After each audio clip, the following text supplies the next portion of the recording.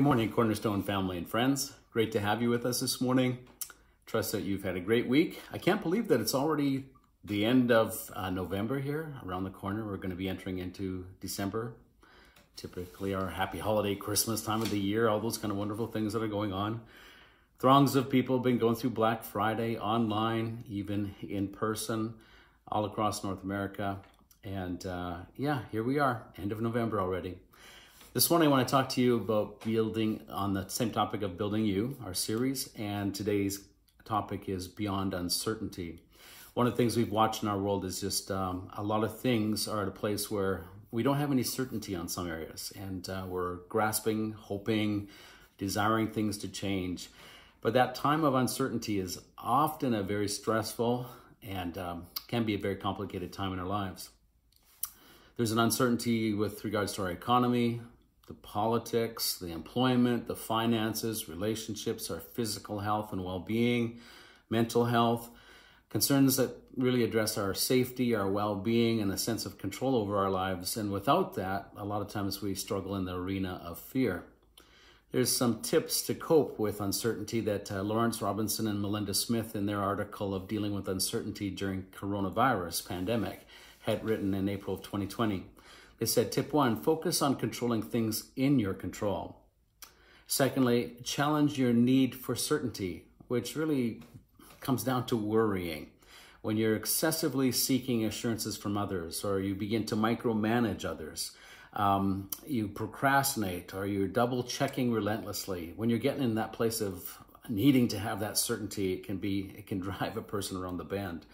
Thirdly, learn to tolerate uncertainty in life. You know, a lot of times we have some irrational fears that come into our minds or worries, what ifs, what could happen.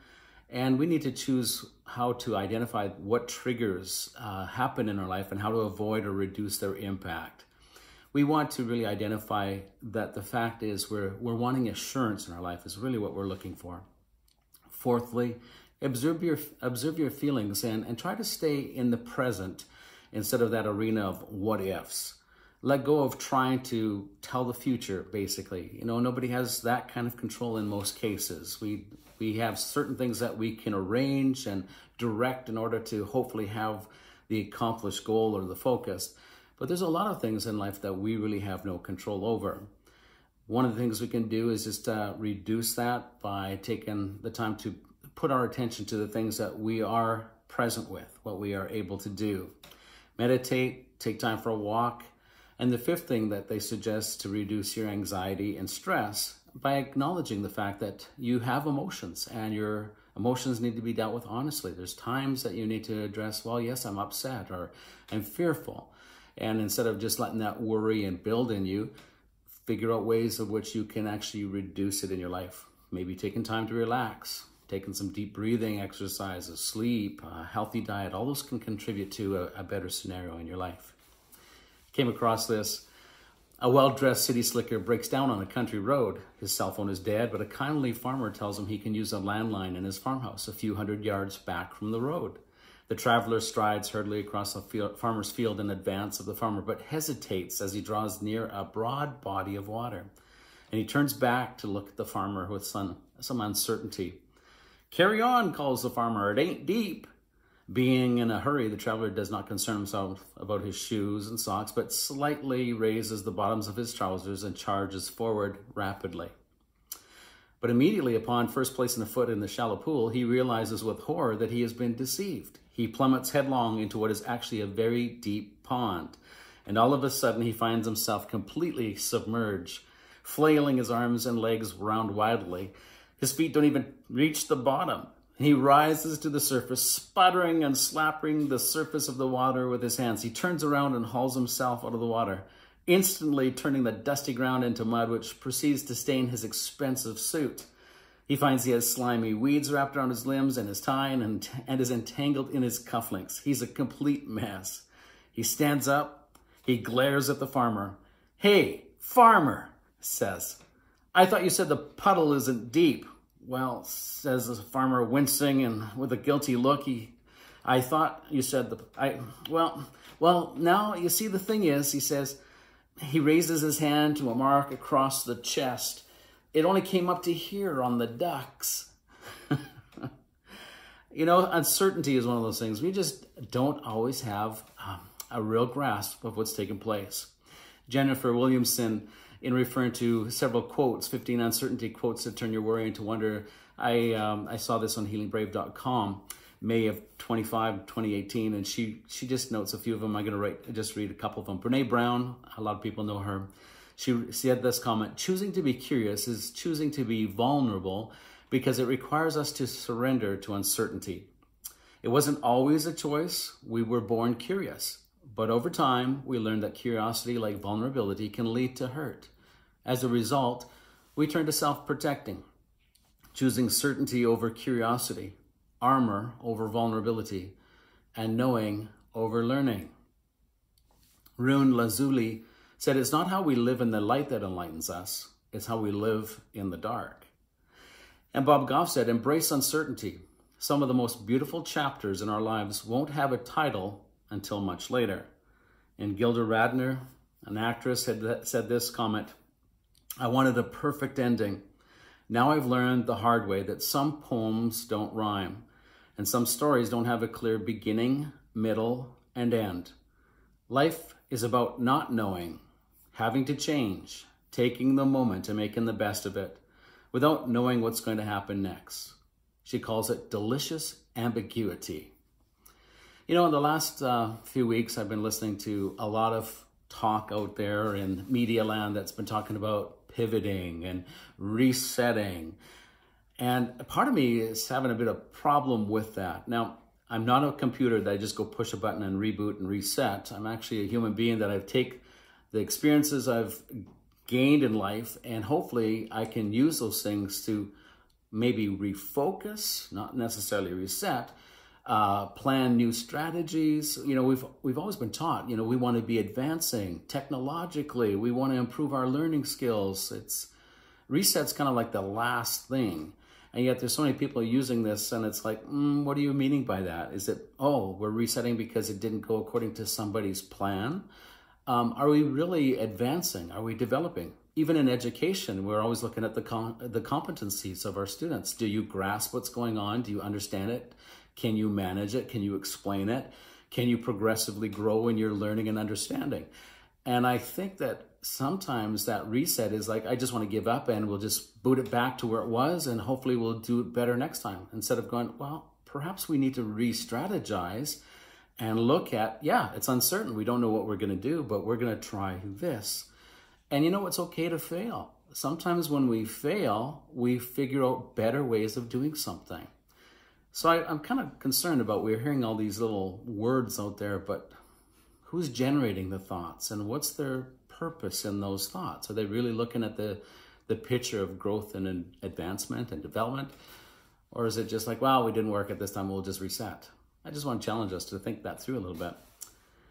You know, there's a, another story I came across. There was a farmer whose only horse ran away. That evening, the neighbors gathered to commiserate with him since this was such bad luck. Your farm will suffer, and you cannot plow, they said. Surely this is a terrible thing to have happened to you. He said, Maybe yes, maybe no. The next day the horse returned, but brought with it six wild horses. And the neighbors came to congratulate him and exclaim at his good fortune. You are richer than you were before, they said. Surely this has turned out to be a good thing for you after all. He said, Maybe yes, maybe no.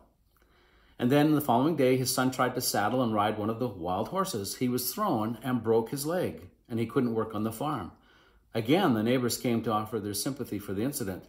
There is more work than only you can handle, and you may be driven poor, they said. Surely this is a terrible misfortune. The old farmer said, maybe yes, maybe no. The day after that, conscription officers came to the village to seize young men for the army, but because of his broken leg, the farmer's son was rejected. When the neighbors came again, they said, How fortunate. Things have worked out after all. Most young men never returned alive after the war. Surely this is the best of fortunes for you. And the old man said again, Maybe yes, maybe no. The truth is, life is full of uncertainty, things that we cannot control, things that we have no say in. And sometimes you roll with the punches and learn through the experience that you go through that this will build resolve. This will build strength. This will build new chapters, new opportunities in life to look at things differently. A lot of people have their opinion around you. In fact, we wrestle with our own opinion. But that uncertainty, if it's not bridled and checked in our life, can almost drive us to the point of despair and become so worried about things that it locks us down to prevent us from moving forward. I love the chapter of Acts in verse in chapter 27 that talks about the account of um, Paul, and he was on his way to Rome. He had appealed that Caesar would listen to his case. And as they were heading out, they got on the ship and they ran into bad weather. And, and Paul warned the, the centurion and those that were involved with the ship. He said, This voyage is going to be disastrous. But the centurion followed the advice of the pilot, the owner of the ship. And I know that, you know, hey, the, the owner of the ship should have a better grasp than you, but um, Paul was also expressing his concerns. And the reason why is the Holy Spirit was warning him of the disaster that was about to come. They sailed into hurricane force storms and um, they had to begin to throw over the cargo, all that precious commodity that they had hoped to sail and sell it when they arrived in their ports. Uh, they got caught in that storm for several days. In fact, it got to the point, it tells us, that they gave up hope of being saved. And then in verse 23 of that chapter 27, it says, Last night an angel of the, of the God who, whom I belong and whom I serve stood beside me and said, Do not be afraid, Paul. You must stand trial before Caesar, and God has graciously given you the lives of all who sail with you. So keep up your courage, man, for I have faith in God that it will happen just as he told me. Nevertheless, we must run aground on some island. 14 days into this whole storm, they became close to land. And as they were checking out the possibility of going in there, even in this huge storm, some of the soldiers decided that they would let down a lifeboat and escape to land. Paul warned them. He said, If you do that, none of us will be saved. They stayed on board. They cut that lifeboat. Now, that doesn't make sense logically, does it? most people think, well, let's get to shore. Let's get as many as possibly we can. The next morning, Paul urged them to eat, and he gave thanks to God. And on that on that ship, that it tells us there was 276 lives. They decided to make a run for the beach. They saw it clear open. It was a sandy beach. They went went for a run for it, but they got stuck on a sandbar. and as they got stuck into that sandbar, the bow got lodged in, and the pounding surf behind started to smash the ship and it started to break up. So at that point, the soldiers wanted to kill the prisoners so that none would escape. But the centurion, because he had found favor in the relationship that he had with uh, with Paul, and and believed that Paul had a word from God, basically, I believe, he prevented their plan, and all made it to shore. And then it goes into chapter 28 and it says that the islanders there welcomed them. They built a big fire, keeping them warm. But during that process, Paul had put his hand towards the fire and a viper struck his hand and it latched on. And the villagers watched that and they thought, oh, you know, here's punishment. He didn't, he didn't die out at sea, but he's going to die here. And Paul shook off the viper and he just carried on and they were just amazed. They went, this man must be a god that opportunity of that whole uncertainty involved into a very interesting thing because we find that after that event of the shipwreck and having that viper attach himself and having no harm come to Paul, that the, that the chief official of the island uh, approached Paul and his father was very, very ill. So Paul went over, prayed for him, and the man was healed. And what that uncertainty of that event led to is that others from the island came and they were prayed for, and the Bible says that they were healed. Who would have thought that in a storm, a shipwreck, when things seemed to be disastrous, God would show up and God would start to heal people? And, and Paul, despite the fact that he was going off to appeal his case before Caesar in the court of men, Paul had favor in the court of God, and he was doing what God wanted to do. And as he was in that place, in that place of uncertainty, Paul kept on doing what he had been doing for, for months and years. He kept on serving God. He kept on touching people's lives. He kept on praying for people, and people were healed. I just want to challenge us. You know, just because there's uncertainty in the world doesn't mean that we stop our race and, and our living for God and doing the things that God calls us to do. Live for Him. Do what we can. Touch people's lives. So when it comes to dealing with uncertainty, I found this in leadmen.org. Their article was in March of 16, March 16 of this year. A couple things they said. First, remember God's faithfulness. If we look at the life of Abraham, Abraham, at his senior years into his 70s, was asked by God, Come, I'm going to take you into a promised land. So everything that he knew and everything that had been developed in his life and his family and all the things that he did, Abraham got up and he moved and followed God. We need to remember God's faithfulness in our life, in our past. Just because some situations come our way that we cannot control does not mean that God abandons us, that God forgets us. But in fact, those are the opportunities where we press into Him, where we trust Him, where we learn to walk after His heart and to ask for His support and strength in our lives. Secondly, remember God is working even when we can't see it.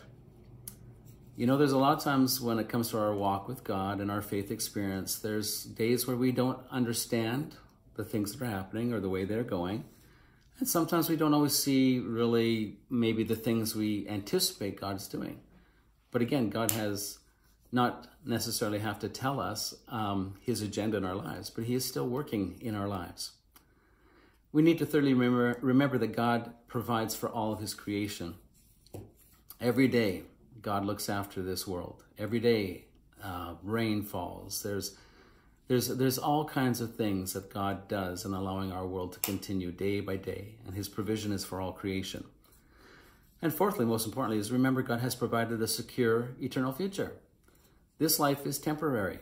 The future, our eternal life, is secured because of Jesus dying on the cross and forgiving us our sins when we call out to him in repentance and say, I recognize you're God. I recognize you're a Savior. You came to forgive me of my sins come into my life, be my Lord and Savior. And at that moment, we are promised by God Himself that we will have eternal life because we believed in the Lord Jesus Christ and His death on the cross for our salvation. Christine Carter, in July 27th of this year, in Greater Good Berkeley Education, she said there are seven ways to cope with uncertainty. One, don't resist. And she notes that what we resist often persists. It's better to have an acceptance of the moment as it allows us to be free to move upwards and move forward. It gives us a chance to strategize. So if we just stick in our place of resistance, we, we don't become creative in our ability to think, well, how can I strategize a better way of doing something to change things? Secondly, invest in yourself.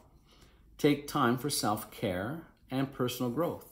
You know, during the time of the pandemic here that's been happening all over the world, there's been people that have been actually doing some self development, self growth, self care, and uh, have been improving their life even despite what is happening with COVID.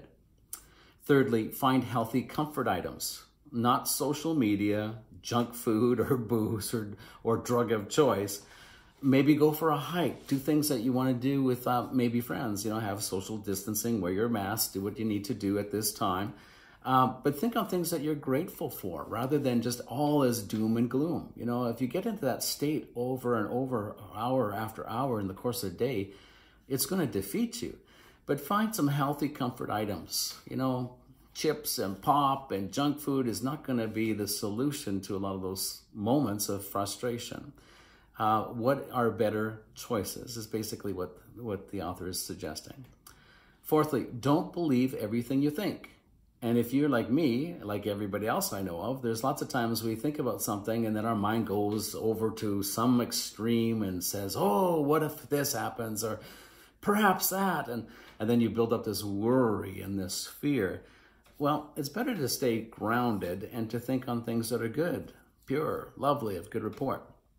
Fifthly, pay attention and attend to what is current that allows you to basically cultivate a calming effect and a non-reactivity uh, that just like a knee-jerk response. You have a chance to say, hey, let's stay present. What's going on here? What do we do? How do we deal with this?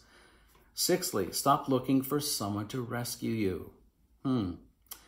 This act of powerlessness actually, it, it starts to develop a tendency to become angry, helpless, and trapped.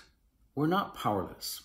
We may have some constrictions on us right now because of the uncertainty of what can be done with COVID 19 and treatment and all those kind of things. But we don't have to act powerless. We don't have to become angry and, and helpless and, and stay trapped. Um, a lot of times when people stay in that place, they avoid taking responsibility.